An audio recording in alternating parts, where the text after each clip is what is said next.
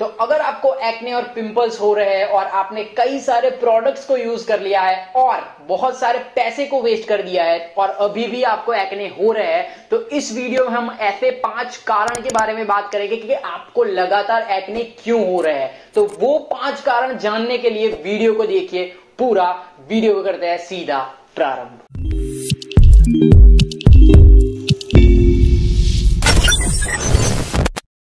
बहुत सारे कमेंट्स आते हैं कि हमें बार बार एक्ने क्यों होते रहते हैं? हम सब कुछ ट्राई कर रहे हैं तो भी। तो इस वीडियो में हम ऐसे पाँच पॉइंट के बारे में बात करने वाले हैं। और जो पांचवा पॉइंट है, वो बहुत ज़्यादा इंपॉर्टेंट है।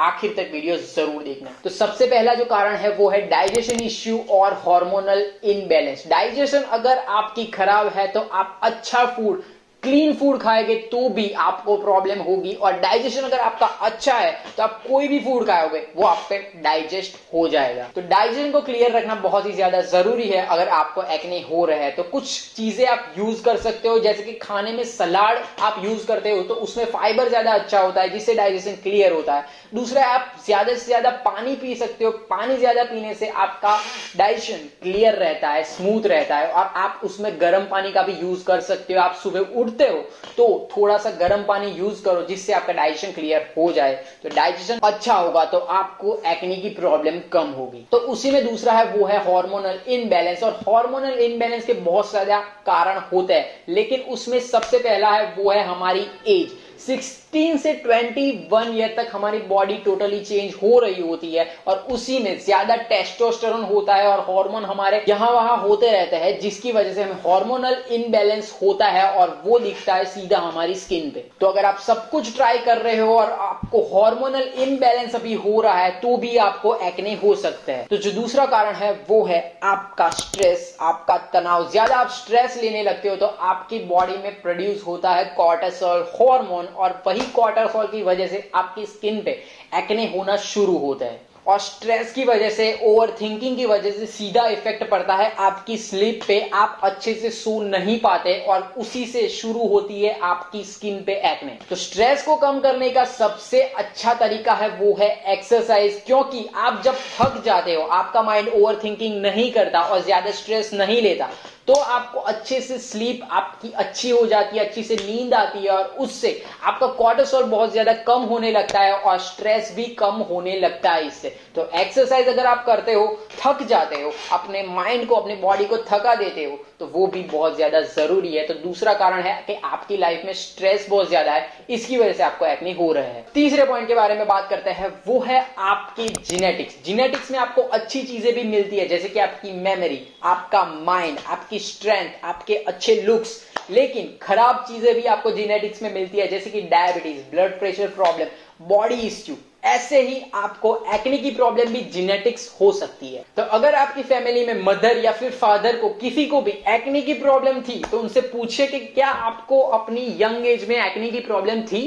तो अगर आपको जवाब मिलता है हाँ तो वो आपकी जेनेटिक एक्ने हो सकती है और उसी की वजह से आपको एक्ने हो रहे हैं। जेनेटिक एक्ने पूरी ठीक तो नहीं हो सकती, वो कुछ एज तक आपको रहेगी, लेकिन कम ज़रूर हो सकती है जीनेटिक एक्ने तो ये था हमारा तीसरा कारण कि जीनेटिक की वजह से आपको बार बार एक्ने हो रहे हैं। तो जो चौथा पॉइंट है, वो है एलर्जिक फ़ूड आपको कोई भी फ़ूड से, खाने से एलर्जी होती है और वो आप खाते रहते हो और आपको पता नहीं है कि वो आपको एक्ने दे रहा है तो उसी की वजह से आपको लगातार एक्ने हो सकते हैं। ये बिल्कुल नहीं है कि ये टोटका है, ये असली चीज़ हो सकती है। मेरा ये एग्जांपल दू तो मुझे चीज़ से एलर्जी है और मैं जब भी चीज़ की कोई आइटम खाता हूँ, ज़्यादा चीज़ खाता हूँ तो मुझे एक्ने के ब्रेकआउट हो जाते हैं और मैंने पिछले संडे एक चीज़ सैंडविच खाई थी और अभी भी मुझे एक्ने हुआ है।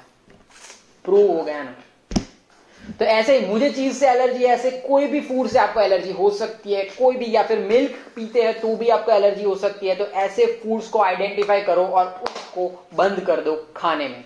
तो इस वजह से भी आपको बार बार एक्ने हो सकता है कि कोई भी फ़ूड से आपको एलर्जी और आप उसको ठूसे ही जा रहे हैं तो उसको ठूसना मतलब खाना कम कर दो। तो पाँचवें पॉइंट के बारे में बात करते हैं। बहुत ज़्यादा सवाल आता है कि क्या मास्टरबेशन से एक्ने होता है? बहुत ज़्यादा लोग पूछते हैं तो यही पॉइंट है हमारा कि एक्सेसिव मास्टरबेशन करने की वजह से भी आपको एक्ने की प्रॉब्लम हो सकती है। कैसे? आयुर्वेद ये कहता है कि त्रिदोष की वजह से हमारा वात, कफ और पित्त जो होता है उसकी वजह से वो इनबैलेंस होता है, जिसकी वजह से आपको एक्ने देता है। तो एक्सेसिव मास्टरबेशन अगर आप करते हो तो भी आपको एक्ने की प्रॉब्लम हो सकती है। कोई भी चीज़ लिमिट में अच्छी लगती है लिमिट पे करो, बढ़िया होगी। तो एक्सेसिव मास्टरबेशन करते हो तो भी आपको एक्ने बार बार हो सकती है। तो ये पाँच कारण की वजह से आपको बार बार एक्ने हो रहे हैं। सबसे पहला है, वो है डाइजेशन और हार्मोनल इश्यू दूसरा है स्ट्रेस तीसरा जीनेटिक्स चौथा है, आपको कोई फ़ूड से एलर्जी हो रही है और पांचवा है, अगर आप एक्सेसिव मास्टरबेशन करते हो तो इन पाँच कारण की वजह से आपको बार बार एक्ने हो रहे हैं। आप सभी कुछ ट्राई करते हो, लेकिन आपको एक्ने हो रहा है तो इन पाँच कारण की वजह से हो सकते हैं। तो अगर आप अपनी लाइफस्टाइल में छोटे छोटे से चेंजेस लाते हो तो वो आपको ज़रूर हेल्प कर सकता है, जो हमने इस वीडियो में बात की। अगर आपको ये वीडियो हेल्पफुल लगा अच्छा लगा लाइक बटन को क्लिक कर दीजिए चैनल को ज़रूर सब्सक्राइब कर दीजिए और कमेंट करके बताइए कि आपको कौन से एक्ने हो रहे हैं बार बार हो रहे हैं। तो जेनेटिक एक्ने है तो वो भी आप कमेंट में बता सकते हैं। आई होप कि आपको ये वीडियो हेल्पफुल लगा होगा। मैं मिलता हूँ आपको अगले वीडियो में। तब तक के लिए बाय बाय